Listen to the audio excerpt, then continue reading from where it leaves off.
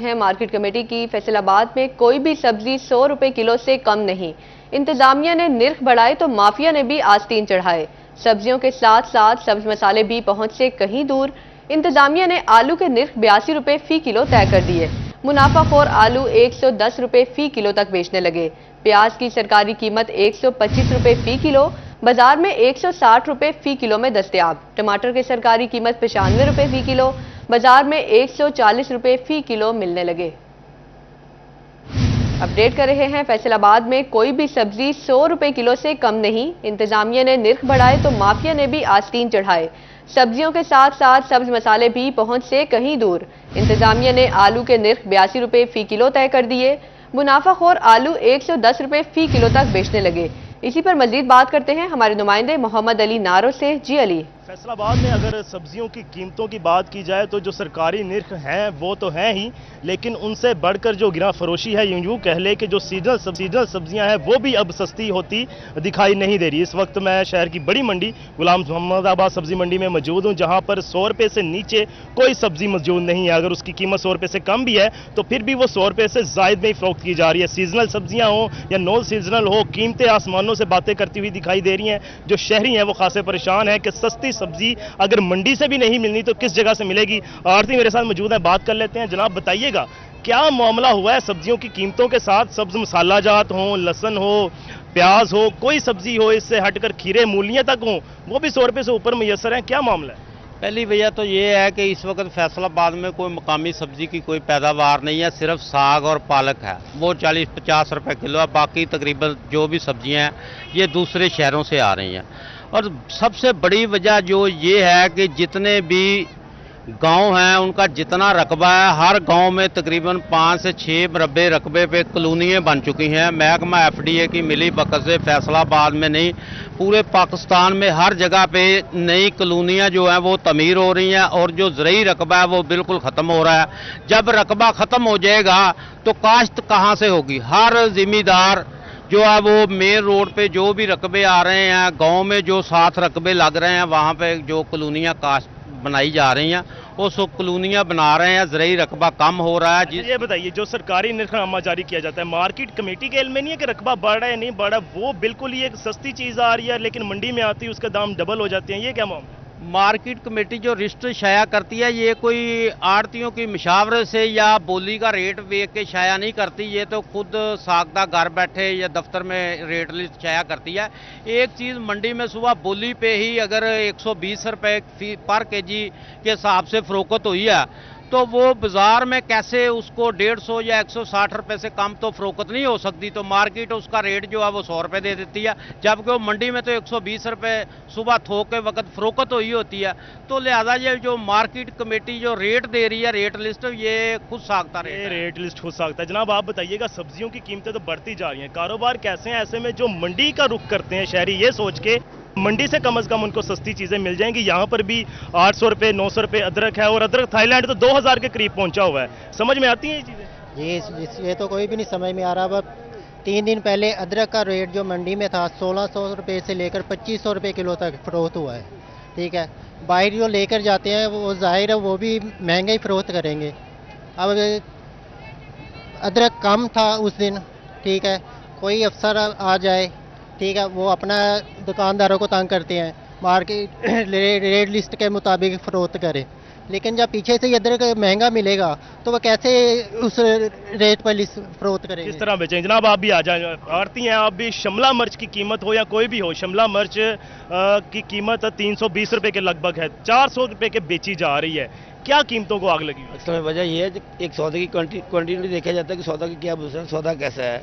हल्का भी होता है ना जो नॉर्मल होती हैं चीज़ें उनका रेट कम है जो अच्छी चीज़ें होती है उसका रेट ज़्यादा है। जो मार्केट कमेटी है वो सौदा नहीं देखती वो घर बैठ के रेट बना देती है। जो चीज़ चार सौ बेच देती है उसका रेट तीन सौ पे दे देती है। जो यहाँ से चार सौ खरीद के जाएगा वो कैसे जाकर तीन सौ बेचेगा? मेरे ख्याल से तीन सौ बीस रुपये अगर किलो मिल रही है सरकारी रेट के मुताबिक तीन सौ बीस रुपये कम नहीं है तो उसको चार सौ कर दिया गया है। चार सौ इसलिए ये सौदा बाहर से आता है माल। यहाँ पे तो नहीं उसके ऊपर खर्चे बहुत हैं। उस पीछे से फ़सल कम है जिसकी वजह से इसका रेट ज़्यादा है। इसलिए उस वो क्वान्टिटी कमी है, सौदे में कमी है। कम आ रहा है ना सौदा, जिसकी वजह से माल में ज़्यादा तेज़ी है इधर।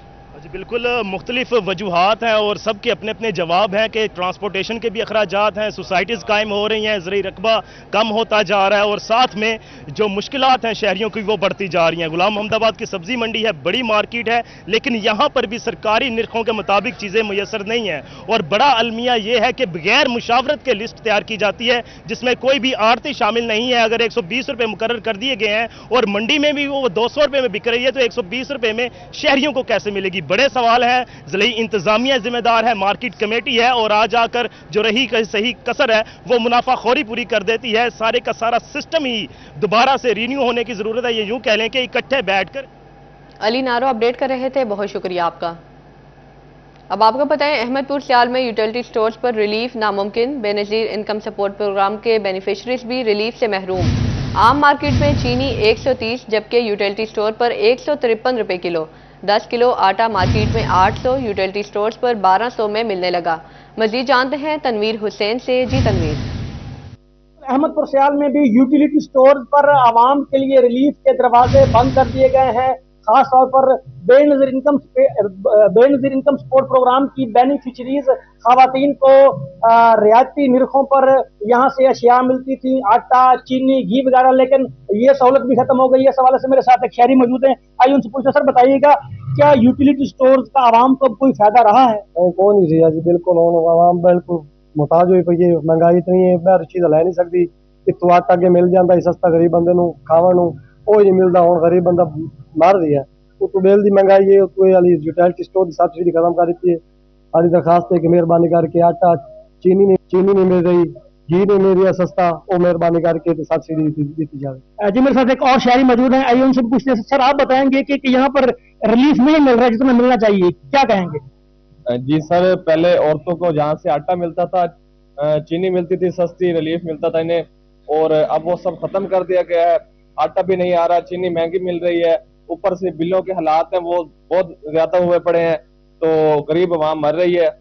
उन आवाम का मुतालबा है कि हुकूमत वक्त को इस पर मुकम्मल एक्शन लेना चाहिए। जी बिल्कुल, आपने शहरियों की बातचीत सुनी तो उन्होंने यही मुतालबा किया है कि यूटिलिटी स्टोर पर जिस तरह पहले बेनजीर इनकम सपोर्ट प्रोग्राम की बेनिफिशरीज खातन को रिलीफ मिल रहा था और आम सार्फिन भी इससे थोड़ा बहुत इस्तेफादा कर रहे थे ये सहूलत जो है आवाम को वापस लौटाई जाए। जी। अपडेट कर रहे थे, बहुत शुक्रिया आपका। अब आपको बताएँ टोबा टैक्सिंग में पुलिस एहलकार ने फ़र्ज़ निभाया। पीर महल में दो डाकुओं की कांस्टेबल मकबूल पर फायरिंग। अहले अहलकार मकबूल ने ताकुब करते हुए दो में से एक डाकू को पकड़ लिया। डाकू की फायरिंग से एक शहरी जख्मी हो गया। अपडेट कर रहे हैं टोबा टैक्सिंग में पुलिस एहलकार ने फ़र्ज़ निभाया। पीर महल में दो डाकुओं की कांस्टेबल मकबूल पर फायरिंग, इसी पर मजीद तफसीत जानते हैं मुबशिर हसन नकवी से। जी मुबशिर। टोबा टैक्सिंग की तहसील पीर महल में अरजाना रोड पर दो डाकुओं को कांस्टेबल मकबूल ने रोकने की कोशिश की। तो इस दौरान दोनों डाकुओं ने उस पर फायरिंग कर दी, जिससे डाकू बाल पर, जो कांस्टेबल था वो बाल बाल बच गया। तमाम डाकू जब फरार हुए तो म्यूनसिपल कमेटी के मुलाजिम कैमरा कांस्टेबल मकबूल ने उनका ताकुब किया और जा, आगे जाकर उन्होंने एक डाकू को गिरफ़्तार कर लिया।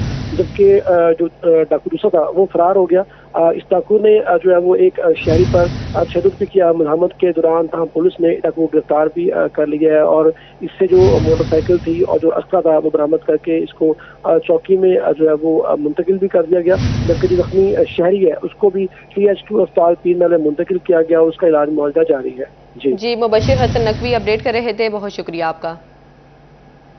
मशरक वस्ती की जंग आलमी मीशत पर असरअंदाज। बरामद कुंदनगान को ऑर्डर शिपिंग में मुश्किल का सामना। जगह न मिलने पर शिपिंग में ताखिर मामूल बन गई।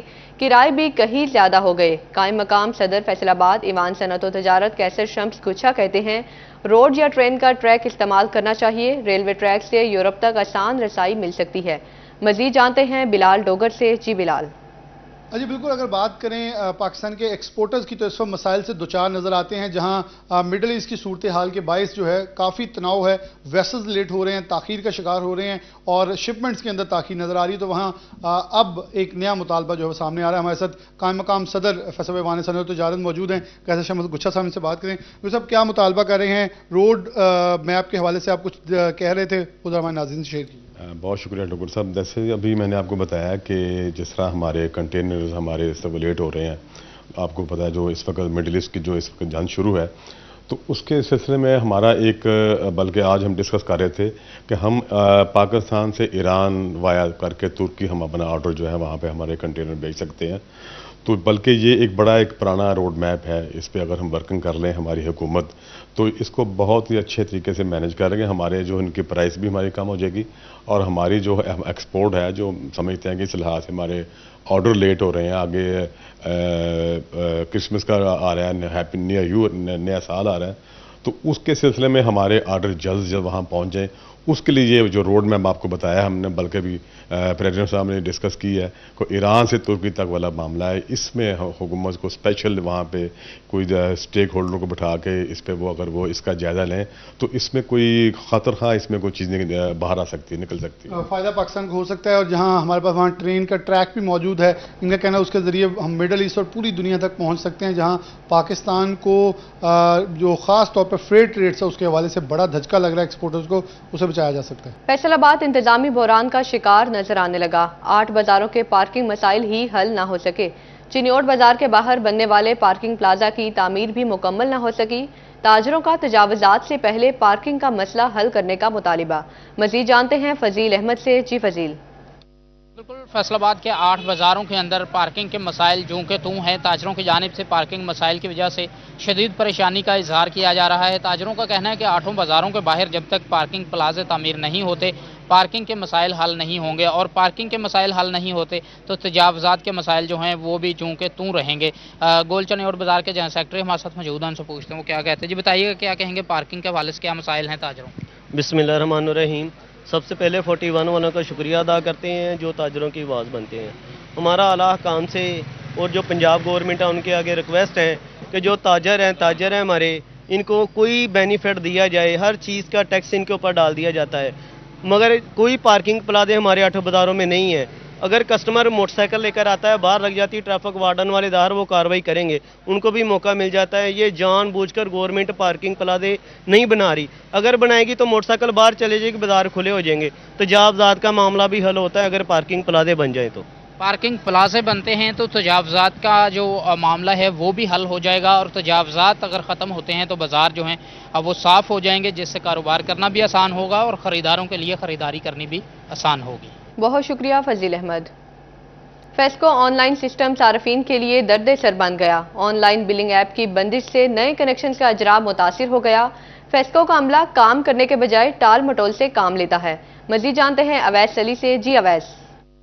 बिल्कुल फेस्को ऑनलाइन सिस्टम खराबियाँ सार्फिन के लिए दर्द सर बन चुकी हैं। इसी हवाले से गुजशत एक हफ़्ते में फेस्को ऑनलाइन वेबसाइट बार बार बंद होने की वजह से दस हज़ार से ज़्यादा घरेलू सार्फिन के डिमांड नोटिस का इजरा मुमकिन नहीं हो सका है। नेपरा की हिदायत पर फेस्को की जानब से पहले ही बिजली के बिलों की एक साथ पर पाबंदी आयद की गई है। बिजली के बिलों की मकर्रा तारीख के बाद बिजली के बिलों में तोसी भी नहीं हो रही और इसके साथ साथ फेस्को ऑनलाइन वेबसाइट खराबियों की वजह से सार्फिन को ना सिर्फ़ जो है और वो बिजली के बिलों की साल में एक बार किस्त की सहूलत मैसर नहीं हो रही और इसके साथ साथ आज जो डिमांड नोटिस का इजरा है वो भी मुतासर हो रहा है। सार्फिन की जानब से ये मुतालबा किया जा रहा है कि फैसको हुकाम जो है वो नोटिस लें और फेस्को ऑनलाइन वेबसाइट को जो है आ, वो तमाम तर खराबियों को दूर करें। बार बार फेस्को ऑनलाइन वेबसाइट खराबियों की वजह से जो है आ, वो सार्फिन के नए डिमांड थ्रू नोटिस तहाल नहीं मिल सके हैं। आ, आज भी सुबह के अवकाश से फेस्को की ऑनलाइन वेबसाइट बार बार बंद हो रही है जिसकी वजह से सार्फिन को मुश्किल का सामना है। ठीक है बहुत शुक्रिया वैसली मजीद खबरें शाह फैसलाबाद में स्मोक और फिजाई आलूदगी में खतरनाक इजाफा भी हुकाम को जगा ना सका। कागज़ी कार्रवाई मुकम्मल होने के बावजूद डिवीजनल एनवायरनमेंट कॉम्प्लेक्स की तामीर के लिए फंड्स जारी ना हो सके। वर्ल्ड बैंक के ताउन से 22 करोड़ से जायद लागत से कॉम्प्लेक्स तामीर किया जाना था। तफसीलात जानते हैं इमरान असलम से जी इमरान। में बढ़ती हुई माहौलियाती आलूदगी की रोकथाम के हवाले से फैसलाबाद में इन्वायरमेंटल कम्प्लेक्स की स्कीम पर ताहाल काम शुरू ना हो सका। 22 करोड़ से जायद की लागत से इस मनसूबा पर काम शुरू किया जाना था। जड़ावाला के करीब चक नंबर 209 में चार कनाल जगह इसके लिए अराजी जो मुख्त की गई और जड़ावाला रोड पर स्कीम के हवाले से ताहाल फंड्स ना होने की वजह से महकमा बिल्डिंग फैसलाबाद काम शुरू न कर सका। वर्ल्ड बैंक के तावन से इस स्कीम पर काम शुरू किया जाना था और तहाल रवा साल इस स्कीम को एडीबी में शामिल किया। फंड्स ना होने की वजह से फैसलाबाद में बड़ी स्कीम इन्वायरमेंटल कम्प्लेक्स की स्कीम पर जो है वो अल्तवा का शिकार हो चुकी है। बिल्डिंग डिपार्टमेंट की जानब से, सेक्रेटरी माहौलियात से स्कीम के हवाले से गाय बगाए फंड्स भी मांगे गए हैं, लेकिन ताहाल फंड्स ना होने की वजह से मनसूबा इतवा का शिकार है। इमरान असलम अपडेट कर रहे थे बहुत शुक्रिया आपका। फैसलाबाद मेडिकल यूनिवर्सिटी का तमाम शुबा अमराज में वेंटिलेटर नस्ब करने का फैसला। मेडिसन बर्न यूनिट और नेफ्रोलॉजी वार्ड में वेंटिलेटर मरीजों के लिए मुयसर होगा। तफसीलात जानते हैं अजादार हुसैन से। जी बताइएगा। आज बिल्कुल vice chancellor Faisalabad medical university की जानब से लाइट फॉल वन के तमाम शुबा अमराज में एक एक वेंटिलेटर नस्ब करने के हवाले से अहकाम जारी किए गए हैं। इस पर अमल दरामद किस तरह से होगा और क्यों अहकाम जारी किए गए? हमारे साथ vice chancellor Faisalabad medical university मौजूद उनसे बात करते हैं। जी सर, बताएँ, क्यों अमल दरामद के अहकाम जारी किए जी, आपको पता है कि जब कोविड आया था तो हमें काफ़ी वेंटिलेटर्स मिले थे और हम उनको इस्तेमाल भी करते रहे और आपको ये भी पता होगा कि गाइनी वार्ड में हमने एक आईसीयू बनाया था, वहाँ पे हमने ये वेंटिलेटर रखे थे, वो यूज़ में भी आते थे। उसके बाद जब हमारी रीवैम्पिंग हुई है तो ज़ाहिर है हमें वो ख़त्म करना पड़ा आईसीयू और वहाँ पे प्रॉपर गाइनी वार्ड बन गया। अब वो जो हमारे पास वेंटिलेटर थे उन, अब उनको हम इस्तेमाल करना चाह रहे हैं उनको हमने रिपेयर करवा लिया है और सारे फंक्शनल हैं। एक एडिशनल आईसीयू हमने बनाया है और जिसमें तकरीबन हमारे 10 वेंटिलेटर जो हैं वहाँ पे एकोमोडेट हो जाएँगे। नौ तो चल रहे हैं और एक को हमने सरप्लस रखा हुआ है। बाकी जो हमारे वेंटिलेटर्स जो पड़े हैं हम चाहते हैं वो भी यूज़ में आए। और आपको पता है कि हर वार्ड में एक वेंटिलेटर की ज़रूरत होती है। कभी ना कभी कोई पेशेंट भी अगर सीरियस हो जाए तो बजाय इसके कि वो वेंटिलेटर तलाश किया जाए आईसीयू में जाने के लिए जो वार्ड के अंदर वेंटिलेटर पड़ा हुआ है उस पर फौरी तौर पर पेशेंट को शिफ्ट किया जाए। और जैसे ही एक वेंटिलेटर अवेलेबल हो जाए मेन आईसीयू में तो पेशेंट वहाँ शिफ्ट कर दिया जाए ये खाली हो जाए। तो उन्हें अजादार हुसैन अपडेट कर रहे थे बहुत शुक्रिया आपका। फैसलाबाद से कातिल डेंगी मच्छर का खात्मा ना हो सका। अलाइड अस्पताल वन में जेर इलाज, एक और मरीज़ में डेंगी की तस्दीक। मुतासरा मरीज़ को आइसोलेशन वार्ड में मुंतकिल कर दिया गया। झंग में भी डेंगी के पैदर पे वार जारी। डिस्ट्रिक्ट अस्पताल में गुजशत 24 घंटों के दौरान दो मरीज़ रिपोर्ट हुए। पानी का कम इस्तेमाल शहरियों को गुर्दों का मरीज़ बनाने लगा। झंग के डिस्ट्रिक्ट अस्पताल में रोज़ाना 100 से जायद मरीज़ रिपोर्ट होने लगे। तिब्बी माहरीन ने शहरियों को रोज़ाना तीन से चार लीटर पानी के इस्तेमाल का मशवरा दे दिया। इसी पर मजीद बात करते हैं वसीम अज़ीज़ से। जी वसीम। मौसम तब्दील होते ही शहरी पानी का इस्तेमाल कम कर देते हैं, जिसके बायस वो गुर्दों के मर्ज में मुबतला हो जाते हैं। डिस्ट्रिक्ट हेडकोार्टर हॉस्पिटल में रोज़ाना की बुनियाद पर 100 के करीब जो है वो मरीज़ रिपोर्ट होने लगे हैं। मेरे साथ डॉक्टर सौराब खान साहब मौजूद हैं। इनसे बात करते हैं। सर, बताइएगा, क्या बड़ी वजह समझते हैं आप गुर्दों के मर्ज की? गुर्दों के मर्ज के बहुत से रीज़न हो सकते हैं, लेकिन जो पैरी पेरीफेरी है, जैसे ये जंग का इलाका है या गर्म इलाके होते हैं, वहाँ पे गुर्दों की जो बीमारियों में सबसे कामन बीमारी देखी, वो किडनी के स्टोन है मतलब गुर्दे की पथरियाँ हैं। और उसकी सबसे मेन रीज़न जो यहाँ हमने नोट की है, वो है कि पानी की कमी। लोग काम में मसरूफ़ रहते हैं, पानी पूरी तरह नहीं पीते या पीते हैं तो साफ़ पानी नहीं होता और उसकी वजह से उनकी जो बॉडी का मेटाबॉलिज्म है, या गुर्दे को फिल्ट्रेशन प्रोसेस में प्रॉब्लम आता है, उसकी वजह से स्टोन बनना शुरू हो जाते हैं। तो स्टोन कामन है अगर आपकी पानी की मकदार जिसम में पूरी नहीं है, क्योंकि पानी अब जितना ज़्यादा पियेंगे, गुर्दा आपका उतना अच्छा फ़िल्टर करेगा और जहरीले मादे और सारी चीज़ें बाहर निकालेगा।